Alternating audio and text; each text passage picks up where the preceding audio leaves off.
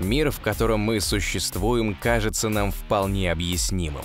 Нам тяжело представить летающие горы, сверхгигантские космические аномалии или объекты, превышающие размеры нашего Солнца в тысячи раз. Однако многое из того, что на первый взгляд может показаться фантастикой, все же присутствует во Вселенной.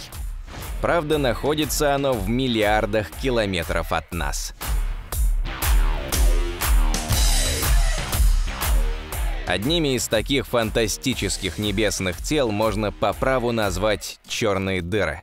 Само их существование до недавних пор считалось невозможным, однако 10 апреля 2019 года Национальный научный фонд США впервые показал миру фотографию черной дыры в центре галактики Месье-87. Масса этого объекта составляет приблизительно 6,6 миллиарда солнечных масс а диаметр равняется примерно 100 миллиардам километров. Для сравнения, диаметр нашей Земли составляет всего 12 742 километра. Такую дыру относят к классу сверхмассивных. Похожее на нее тело присутствует и в центре Млечного Пути.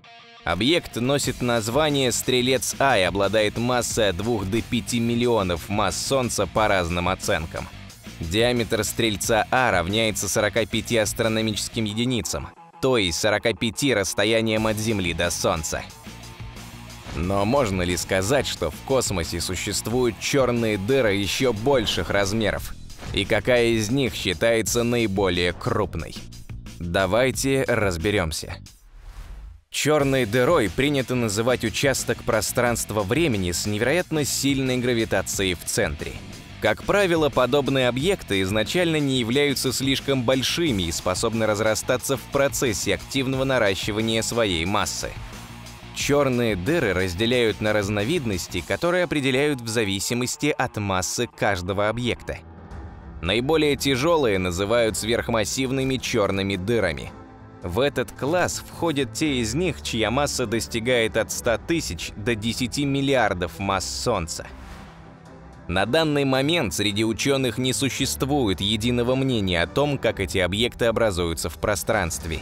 Наибольшую популярность имеет теория о постепенном разрастании черных дыр, согласно которой каждая дыра сначала возникает, имея при этом обычную звездную массу, а затем растет постепенно, поглощая окружающую ее материю.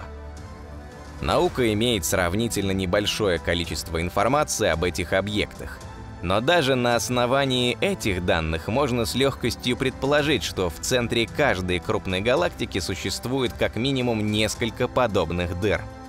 За все время существования Вселенной в ней, вероятнее всего, успело появиться несколько миллионов, а может быть и миллиардов черных дыр. По крайней мере, сегодня нам известна только малая часть из них.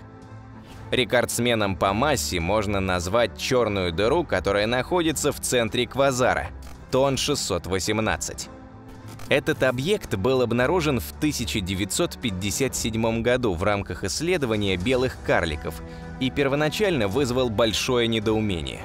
Представление о том, что такое квазар, появилось только спустя 6 лет, поэтому на момент открытия природа объекта оставалась неясной.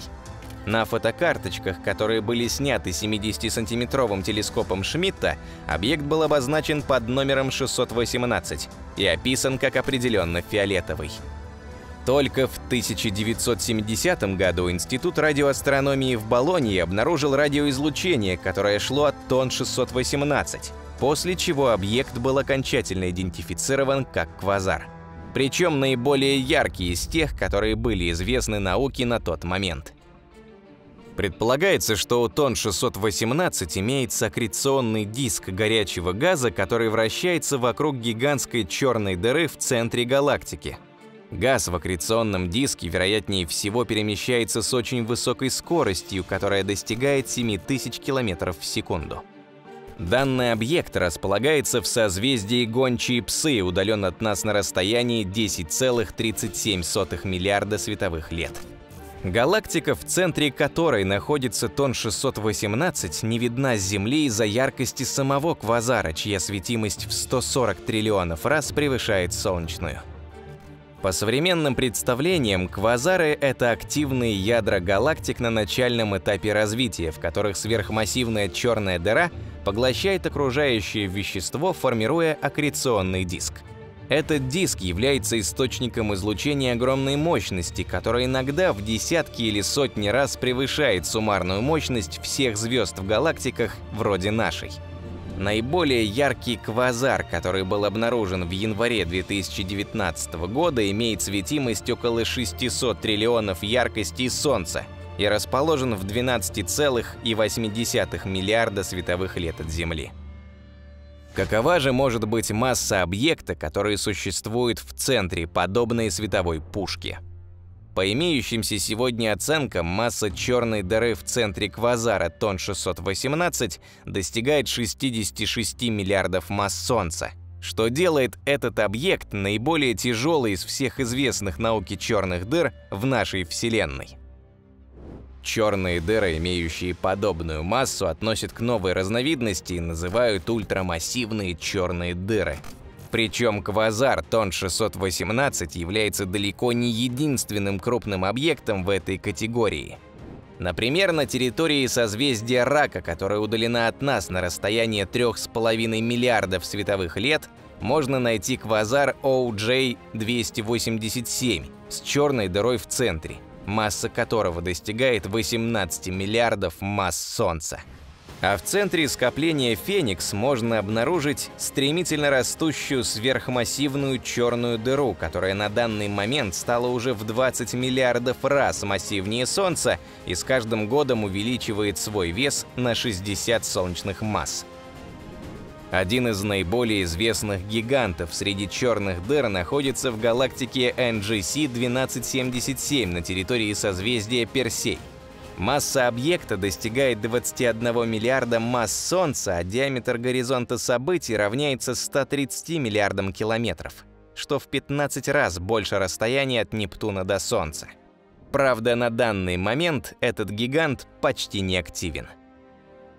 Если же говорить о размерах, то первое место в этом списке можно по праву отдать еще одному известному космическому объекту, а именно черной дыре – в центре сверхгигантской эллиптической галактики Холмберг-15А, которая расположена в созвездии Кита на расстоянии около 700 миллионов световых лет от Земли. Масса этой черной дыры не является рекордной и составляет 40 миллиардов масс Солнца. Однако ее размеры действительно могут удивить. Согласно имеющимся сегодня расчетам, горизонт событий этой черной дыры должен быть настолько велик, что в нем сможет поместиться вся Солнечная система, а его диаметр равняется приблизительно 790 астрономическим единицам.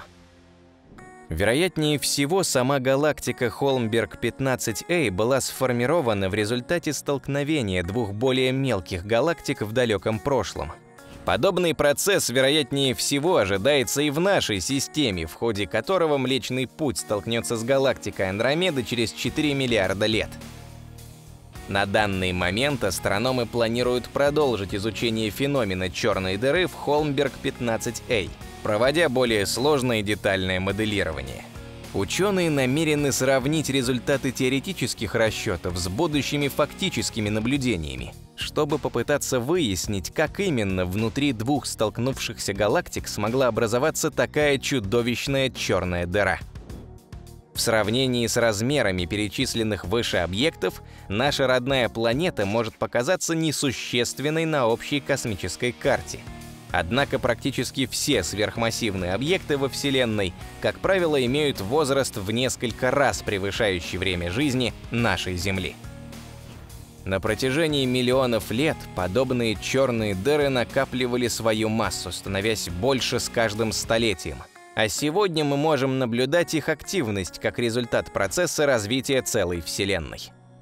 Вполне вероятно, что большая часть ультрамассивных черных дыр появилась в результате слияния более мелких дыр между друг другом. Подобный процесс случается при их столкновении и сопровождается излучением гравитационных волн.